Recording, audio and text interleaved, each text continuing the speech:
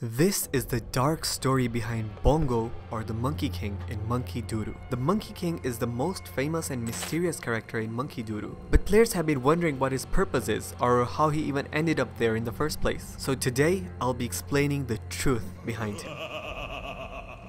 Once upon a time, in a VR game called Monkey Doo Doo, there was a special character named Bongo. He was a big monkey who wore a shiny crown. You could find him sitting in the main lobby of the game but there was one strange part.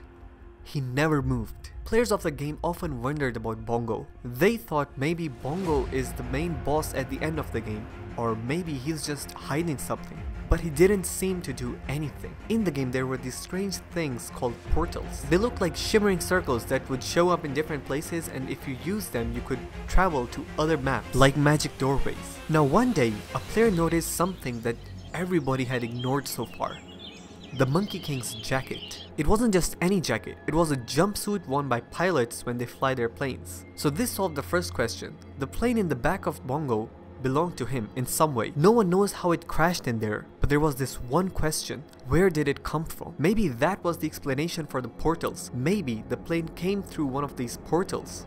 But still, the players were stumped there was no plausible explanation for all of this. But what they didn't know, they hadn't explored the biggest mystery yet. The crashed plane itself.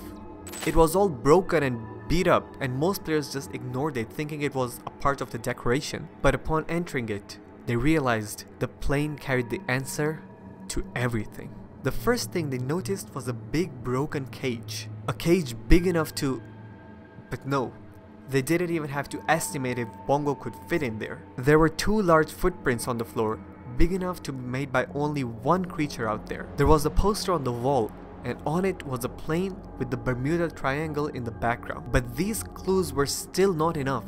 They didn't answer everything. That's when they noticed a hatch in the floor. And upon opening it, what they saw in there shocked everybody.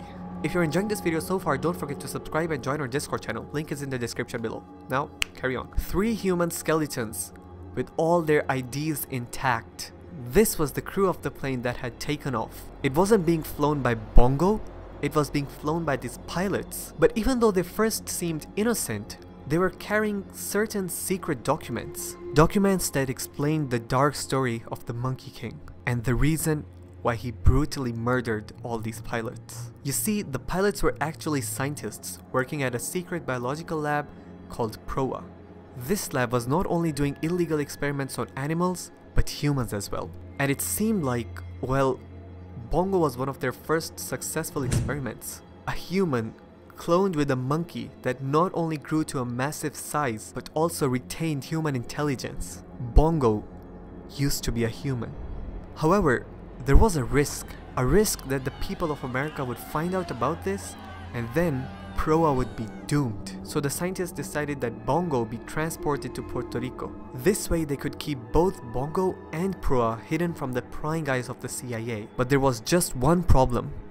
The plane had to pass through the Bermuda Triangle. Now for those of you who don't know, the Bermuda Triangle has been known to be one of the most mysterious places on Earth. There have been many ships and planes that have disappeared in there without a trace. But the scientists said Proa didn't really care about that part. However, as the plane started nearing the triangle, Bongo started to act weirdly. And when the plane entered it, Bongo lost all his human intelligence. One of the scientists tried to sedate him, but it was too late. An infuriated Bongo broke open the cage with his massive energy as the pilots took refuge in the hatch below. But the plane was now out of control. It crashed, however, not into the water, but on a strange island in the middle of Bermuda Triangle with portals to other universes. The scientists would have been baffled at this discovery, but unfortunately, they had died of the crash, locked in the hatch. But Bongo was still alive. With his legs having broken during the crash, Bongo crawled into the middle of the little island and sat down there wearing a jumpsuit stolen from one of the pilots. Eventually, the island became inhabited by other monkeys of his kind. They retained human intelligence, but they still couldn't figure out who Bongo even was. Well, this is who Bongo was, the creator of the monkeys in Monkey Doo Doo. There's a reason why the monkeys can talk. There's a reason why you can talk. But Bongo? Bongo had forgotten everything everything about the human he once was. If you like this video, maybe you'll also be interested in the full story of Daisy 09 in Gorilla Tag.